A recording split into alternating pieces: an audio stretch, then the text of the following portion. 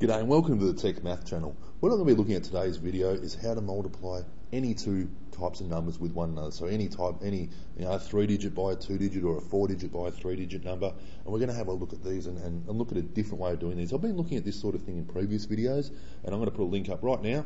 There you go, it's there um, on, on different ways I do this. But today is going to be a bit different one because I'm going to be looking at this using uh, boxes and, and basically a little table, very easy table to draw up and, a, and an easy way of doing this just in case it might be a different way you prefer doing it. So, without much further ado, let's work out 324 times 15. So, how do we work this out now?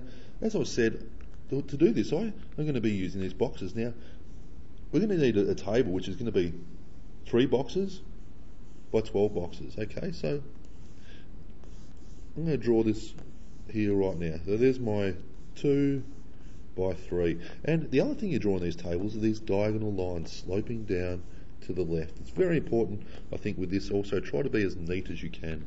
Um, otherwise, you get in all sorts of troubles with math when you're not, you're not being neat, as we, you probably realise.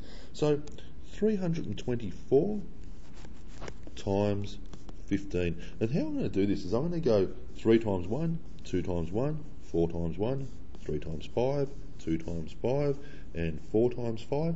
And I'm going to write the answers to each of these questions. So the tens go in this part and the units go in this part. So 3 times 1 is 3. 2 times 1 is 2. 1 times 4 is 4. 3 times 5 is 15. 5 times 2 is 10. And 5 times 4 is 20. There you go. Already got the answers. Now, how do I get my uh, final answer? Well, I just start adding up in this diagonal direction. So, let's have a look. Nothing and nothing is nothing. 4 plus 2 is 6. 5 plus 1 plus 2 is 8. And 4 plus, uh, 3 plus 1 is 4. There you go. That's the answer. That's pretty cool, right? We can do this with bigger numbers. I'll put a bigger one up right now. Okay, so let's do uh, 1,342 and we'll times that by 600, uh, 643. Okay, so we're going to need a box how big? That's right, 3 by 4. So let's draw that in. So here's our box, which is going to have to fit three rows and four columns. And these diagonal lines sloping down once again. So,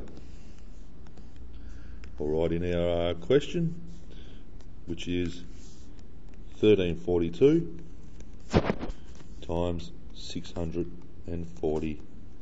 And I'll start putting in my answers now. 1 6 is 6, 6 3 is 18, uh, 6 4 is 24, 2 6 is 12.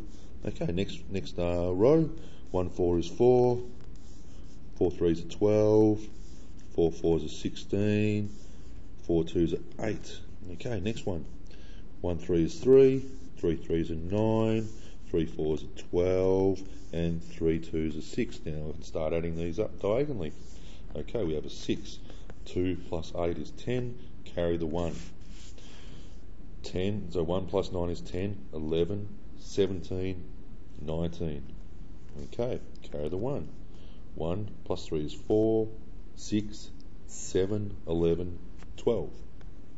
Carry the 1. 1 plus 4 is 5, 6, 1 plus 4 is 5, 6, 14, 16. Carry the 1, and 6 plus 1 is 7, plus this 1 here is 8. So our answer is 862,906. That's pretty easy, right? Well, it's a really, really good method. I, I, really, really like this method as well. I tend to use a slightly different one. I think for bigger numbers, I actually, in some ways, prefer this method. I think it's a, a nice, simple, cut and dry sort of one, especially for, for kids and that sort of deal. It's a really good way also of getting to practice their times tables. But it's a, it's a good one also if you don't like juggling so many numbers necessarily in your head at once. Okay, hopefully uh, you like that method and you might give it a, a bit of a shot. We'll see you next time.